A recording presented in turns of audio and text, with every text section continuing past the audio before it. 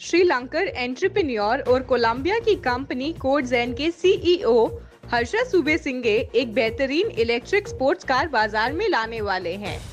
Dual electric motor वाली यह car, जिसका नाम वेगा है, शून्य से साठ की रफ्तार मात्र साढ़े तीन सेकेंड्स में पकड़ सकती है। इसकी बॉडी को बनाने के लिए कार्बन फाइबर्स का इस्तेमाल किया गया है, जो कि इसे बहुत ही